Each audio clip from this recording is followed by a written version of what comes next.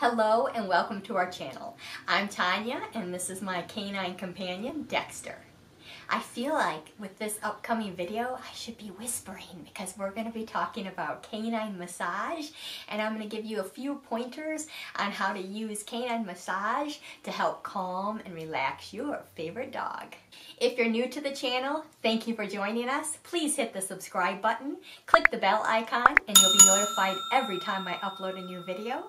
And if you're back, we appreciate your support and we're glad to see you. And normally when I do this, we want a zen feeling where it's quiet and calm and relaxing. So hopefully my chit chatter won't get Dexter too excited.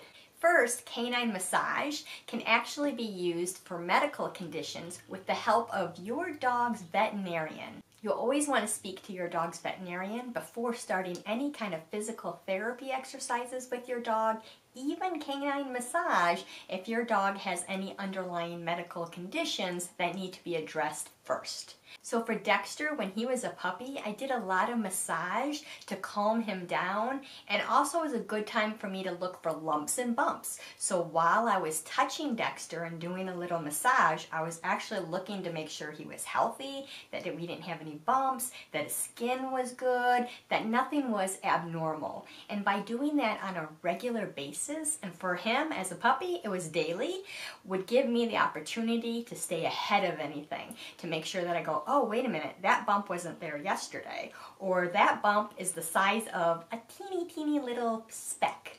But maybe in a week, that bump is the size of a pea or a nickel. And in those cases, off to the vet we go. Anytime I see something growing really fast, I'm going to get in there, make sure that we evaluate it, make sure everything's okay. As Dexter aged, we also found out he has Chiari malformation, which is a disorder in his skull. I'll put some information below in the link description to tell you all about that. But because of that, he actually isn't one who loves being massaged and touched in that sort of way anymore. So I always want to encourage you to make sure that you are always listening to your dog and if it feels like they're uncomfortable or they're not enjoying something, unless your vet told you otherwise, stop.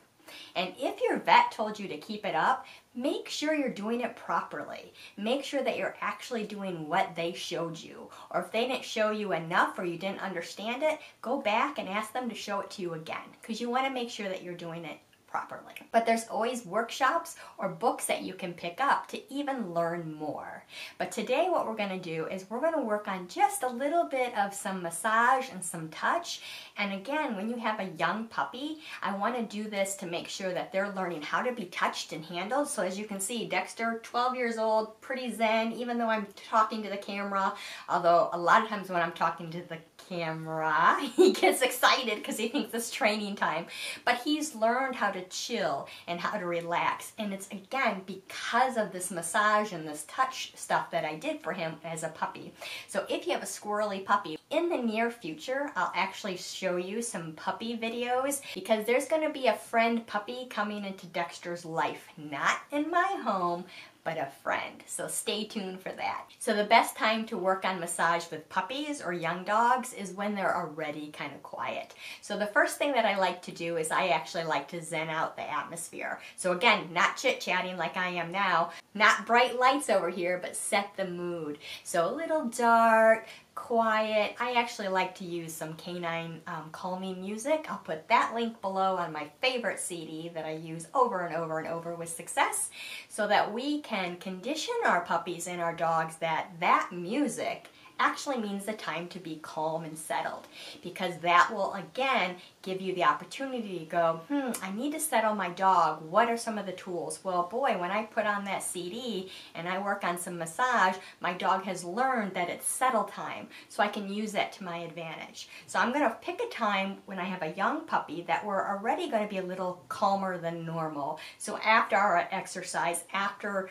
after the day, when we're getting ready to take our siestas, that's a perfect time to start. So I'm just going to start with gently, and it's going to be extra gentle for Dexter because again, he doesn't love, love being touched. So the video might be shorter and sweeter than I expected.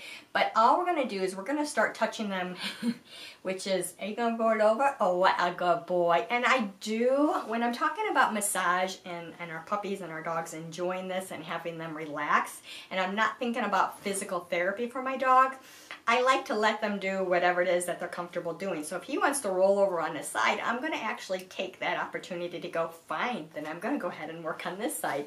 And I'm kind of thinking about touching and warming up those muscles.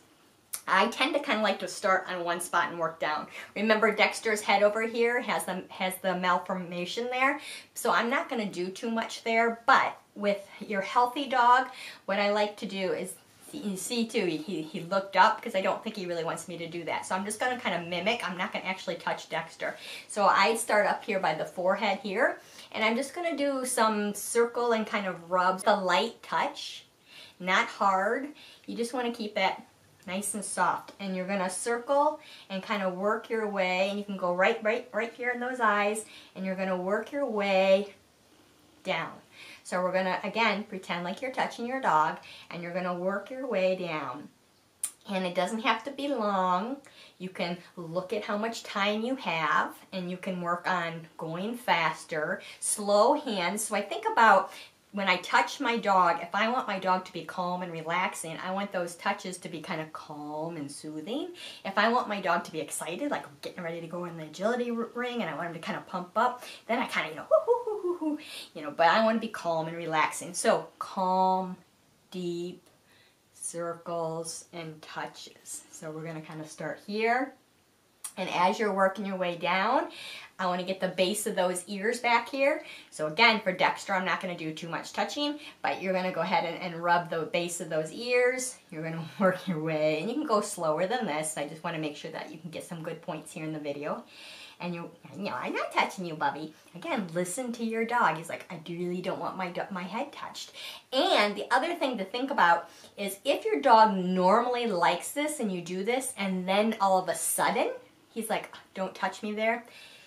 That's a, you know, I'm to take a deeper look. I'm to look to see what it looks like tomorrow. How are we doing? If I'm still not seeing a change, that's another vet visit for me. You know, I want to go, what's going on? Why is it different? Okay. And we did with Dexter, when he did used to be like to be touched a little more, I would notice that back here. So if I started to touch him back here, he would kind of look at me like not a, not an evil, like a snarky look, which is still again them telling you something's wrong, but just like hi, hello. And when we went to the vet, maybe a few, we were, he was scheduled for his um, physical therapy vet. She found out, you know, he was a little tight back there. So, yeah, again, him telling me, not quite comfortable back there. So a little massage here. And when you get to this part of the neck, what I tend to pretend like um, his head's here, his neck's here, what I like to do is just kind of like us, kind of a little, little kind of rub, you know, kind of work that way there. Again, for Dexter, we're not going to touch that part. Little rub over here. I might have to do another demo with the dog who likes to be rubbed, huh? But I think he can get the idea. And then up over the shoulders, a little rub again. And then I would work my way. I'm barely touching Dexter. You can go deeper with your dog, but still light touch. Work our way down. And we're just going to kind of gently rub work our way down to those shoulders. And I do have some other videos too on some stretching videos um, from my other YouTube channel, Raising Your Pets Naturally. So I'll link those in the descriptions as, as well. Those are actually some stretching for his physical therapy that we, we are doing on a regular basis. And we're just going to rub down here. Can you see his, oh, you can't really see his arms. but around his shoulders, up through that elbow. You're thinking about his whole body. You're going down there. And if I'm using two hands here, again, I'm feeling lightly. Do we, you know, uh, uh, is everything okay? Do we have any lumps? Don't miss those toes. So go ahead and go down to those toes. You can go to those little jelly pads down there and do a little massage there. That's a good boy. It's a good way to work on handling those feet. Work your way back up again slower. Go down to his back and again, watch your dog, make sure that they're comfortable. Good job. Good job, buddy. And you're just warming and loosening those muscles. Oh, Good job. You can talk to them. If you have a puppy, you can give them a, a treat here and there. With Dexter, I tend not to bring out too much food because he gets excited. we're shooting a bunch of videos today and we're starting with these videos without food and then we do our training videos next because once he sees the food and let him stretch once he sees the food then he wants to start working and so again you're starting here you're working your way down and you're just doing massage don't forget the butt and then the back leg good job buddy warming everything up yeah, so good boy, and work your way down. Make sure you get that base of the tail. You won't want to forget any of their body parts. Okay, and then you would have them turn over and get the other side. I'm going to see if I can get him, see, and see, he's even calmer now, even though he doesn't like to be love, love, love being touched with a whole bunch of, of touch and pressure. He hasn't left right? So that always tells me I never keep my dog making them do something unless it's something I have to do that the vet's making me do, which I haven't had that issue. But I always want to make sure my dog can leave. So I'm not restraining him. He's not forced to stay here. He's not on a stay. So I don't tell them to stay because if I've taught my dog a really good stay, they're going to stay no matter what, even if they don't like it. So I want to know that he knows that he can move if he wants and he can leave if he wants. So when we started this video, even off camera, I never told him to down and stay. I never even told him to down, but you know, he, again, conditioning. He knows that we're going to do some massage and some stretches on his yoga mat or that we're going to do some, you know, practices some of his fitness exercises, so he kind of goes here and he crashed out. The yoga mat conditions him that this is where we're going to be and we're going to do something here, but it's also really important if you don't have carpet. We have carpet, which is might not be as great for cleaning, but it's better for the dogs because they walk with their nails, which is like cleats, so they struggle more on hardwood floors. So if you have slick hardwood floors, those types of floors. When you do anything like that, you definitely want to get a yoga mat. Um, and I'll, I'll, give a link to our fancy little yoga mats down in the description, or one from the regular store, or even a carpet runner. Um, you want to make sure that whatever you put on your slick floor won't slide, because you don't want to be having your dog stand on a, something like this, and then it just slides underneath them. So you need to make sure that underneath it has some sort of grippy texture. Okay, so there. So he went back to sleep, right? I needed your face. Ready? Okay, so one more part of their massage. Ready?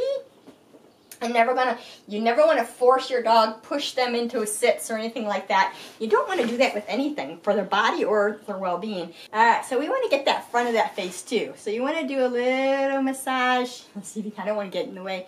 Massage here. I'm not holding him down here. Underneath the eyes over here. This is really good for calming dogs too that are nervous. Good job. I used to do this with my golden retriever.